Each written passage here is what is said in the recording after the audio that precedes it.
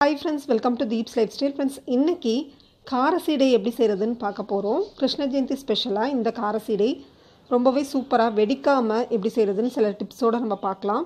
Already நம்ம சேனலில் வந்து பார்த்திங்கன்னா உப்பு சீடை போட்டிருக்கேன். கூடவே வெள்ளம் சீடையும் நான் போட்டிருக்கேன். வேணுங்கிறவங்க லிங்க் வந்து டிஸ்கிரிப்ஷன் பாக்ஸில் செக் பண்ணி பாருங்கள் இன்றைக்கி வந்து நம்ம கார சீடை தான் எப்படி செய்கிறதுன்னு பார்க்க போகிறோம் இதுக்கு தேவையான பொருட்கள் என்னென்னு பார்த்துடலாம்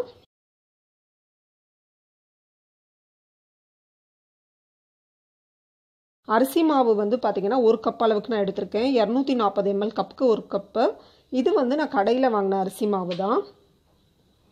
ரெண்டு டேபிள் ஸ்பூன் அளவுக்கு வெண்ணெய் தேவைப்படும். தேங்காய் துருவல் வந்து பார்த்தீங்க அப்படின்னா ரெண்டு டீஸ்பூன் அளவுக்கு நான் எடுத்திருக்கேன். உளுந்து வந்து பார்த்திங்க அப்படின்னா நமக்கு ரெண்டு டீஸ்பூன் அளவுக்கு உளுந்தோட பொடி தான் தேவைப்படும். ஆனால் நம்ம வந்து அப்படி தனியாக வறுத்து அரைக்க முடியாது. நான் அதனால் ஒரு கால் கப் போல் எடுத்துக்கிட்டு வறுத்து அடிச்சுட்டு அதுலேருந்து நான் வந்து மெஷர் பண்ணி எடுத்துக்க போகிறேன் ரெண்டு டீஸ்பூன் அளவுக்கு தான் உளுந்து தூள் தேவைப்படும். உளுத்தம் மாவு. அடுத்தது வந்து பார்த்திங்க அப்படின்னா எள்ளு வந்து ஒரு டீஸ்பூன் அளவுக்கு தேவைப்படும். எள்ளு வந்து நம்ம கழுவி எடுத்து வச்சுட்டு தான் நம்ம வந்து ரெடி பண்ணணும். ஏன்னா எள்ளில் வந்து பார்த்திங்க அப்படின்னா உங்களுக்கு கல் இருக்கும். அதை கழுவி எடுத்தாலும் வெடிக்கிறதுக்குள்ள வாய்ப்பு வந்து ரொம்பவே குறைவு. அதனால் நம்ம எள்ளை வந்து கழுவி எடுத்து தான் நம்ம செய்ய போகிறோம் உப்பு வந்து தேவையான அளவுக்கு நம்ம எடுத்துக்கலாம். கார சீடை அப்படிங்கிறதுனால நான் மிளகாத்தூள் எடுத்திருக்கேன். ஒரு டீஸ்பூன் அளவுக்கு நான் மிளகாத்தூள் எடுத்திருக்கேன்.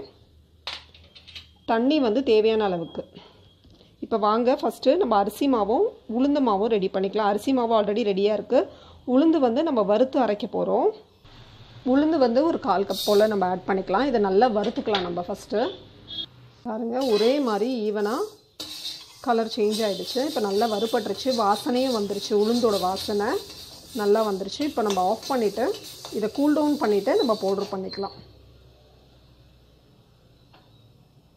இப்போ நான் இதை வந்து ஓரமாக தூக்கி ஆற வச்சிடுறேன். ஒரு கப் அளவுக்கு நான் அரிசி மாவு எடுத்துகிட்டு நல்லா ட்ரை ரோஸ்ட் பண்ண போகிறோம் மிதமான சூட்லேயே வச்சு வருங்க. ஹை ஃப்ளேமில் வச்சு வறுக்காதீங்க. இப்போ அரிசி மாவில் நல்லாவே சூடு ஏறிடுச்சு. இப்போ நம்ம இதை ஆஃப் பண்ணிவிட்டு இதை பவுலுக்கு மாற்றிடலாம் இப்போ இதே கடாயில் நான் வந்து தேங்காவை போட்டு நல்லா வறுத்துக்க போகிறேன் அதோட மாய்ஸ்சர் கன் கம்ப்ளீட்டாக போயிடணும். அந்த அளவுக்கு நம்ம நல்லா வறுத்துக்கணும் தேங்காவை. இப்படி எல்லாமே வந்து வறுத்து நம்ம ஆட் பண்ணுறதுனாலையும் நமக்கு வந்து சீடை வெடிக்காமல் வரும். ட்ரை ரோஸ்ட் ஆகிடுச்சு தேங்காய். இதை இப்போ ஒரு பவுலுக்கு மாற்றி வச்சிடலாம். நல்லா அரைச்சி எடுத்துக்கலாம். நம்ம பவுட்ராக்கி எடுத்துக்கலாம்.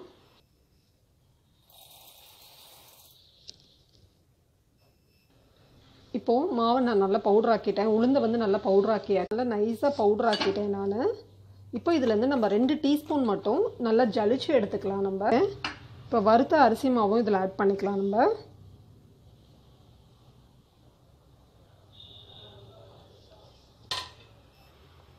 அடுத்தது இதில் நான் அந்த தேங்காவை சேர்த்துக்கிறேன்.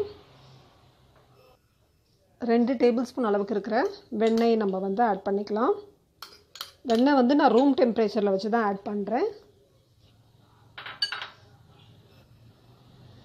ஒரு டீஸ்பூன் அளவுக்கு மிளகாத்தூள்.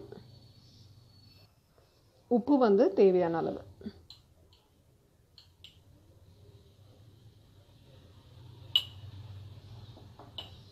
இது நல்லா மிக்ஸ் பண்ணிக்கலாம். இந்த வெண்ணெய் எல்லா இடத்துலையும் ஒரே மாதிரி ஸ்ப்ரெட் ஆகிற மாதிரி நம்ம மிக்ஸ் பண்ணிவிட்டு கொஞ்சம் கொஞ்சமாக தண்ணி தெளித்து நம்ம இப்போது இதை வந்து சாஃப்டாக நம்ம பசைஞ்சு எடுக்க போகிறோம் நிறைய தண்ணி ஊற்றிடக்கூடாது ஃபஸ்ட்டே கொஞ்சம் கொஞ்சம் தேவைக்கு தான் நம்ம தண்ணி ஆட் பண்ண போகிறோம் எள்ளை ஆட் பண்ண மறந்துட்டேன். நான் எள்ளை ஆட் பண்ணிக்கிறேன். இந்த மாதிரி வாஷ் பண்ணி எடுத்து வச்சுருந்தேன். அதை ஆட் பண்ணிக்கிறேன்.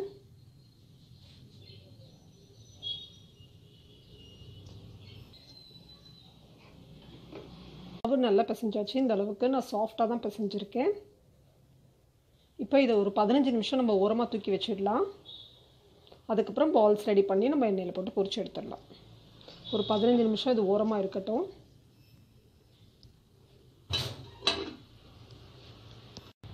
இரும்பு கடாயில் எண்ணெய் வச்சுருக்கேன். எண்ணெய் சூடாகிட்டு இருக்கட்டும். இதுக்கு நடுவில் பதினஞ்சு நிமிஷம் ஆயிடுச்சு. நான் இப்போ வந்து மாவை வந்து சீடைகளாக உருட்டி எடுக்க போகிறேன்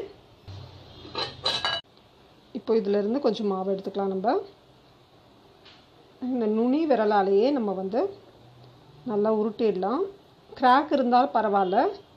ரொம்ப ஹார்டாக உருட்டக்கூடாது. சாஃப்டாக தான் உருட்டணும். இந்த மாதிரி எல்லாத்தையும் நம்ம உருட்டி எடுத்துக்கலாம். இந்த மாதிரி ஒரு பேப் ஒரு டிஷ்யூ பேப்பரோ இல்லை நார்மல் பிளேட்டில் கூட வச்சுக்கோங்க. டிஷ்யூ பேப்பரில் வைக்கும் போது எக்ஸஸ் மாய்ஸ்சர் வந்து டிஷ்யூவில் இறங்கிடும்.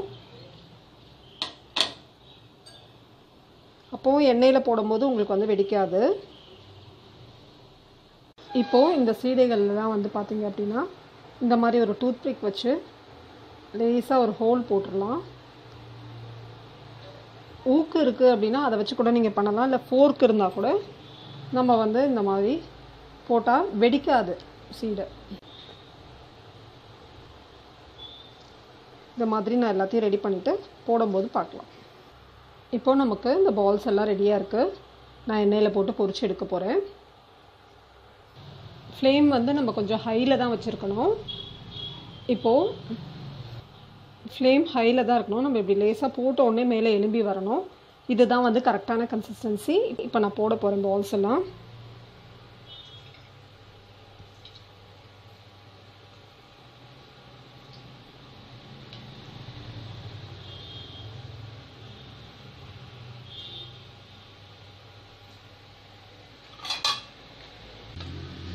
நல்லா ஹை ஃப்ளேமில் தான் வச்சு நம்ம பொரிக்கிறோம்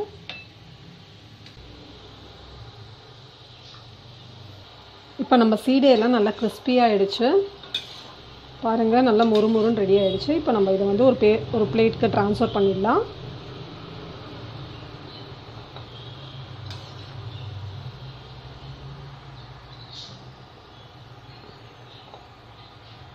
மொறுமொறுன்னு கார சீடை வந்து சூப்பராக ரெடி ஆகிடுச்சு அடுத்த பேட்சஸும் போடலாம்.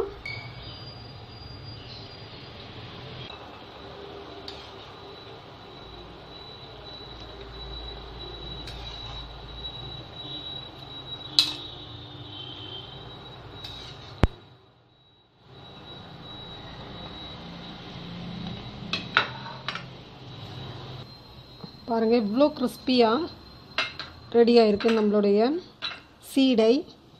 வெடிக்கவே இல்லை ஒன்று கூட. நான் சொன்ன இந்த டிப்ஸ் எல்லாம் ஃபாலோ பண்ணி கண்டிப்பாக ட்ரை பண்ணி பாருங்கள்